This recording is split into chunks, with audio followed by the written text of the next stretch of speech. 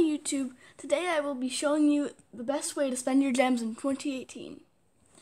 Alright, let's go into the item packs. Okay, let me find it. Alright, here it is.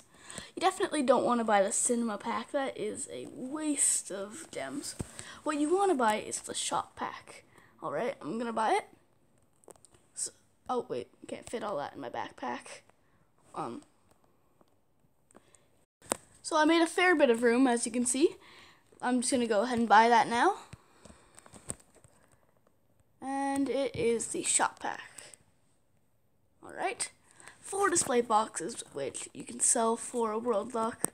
For sale sign, that's useless. Gem sign, useless.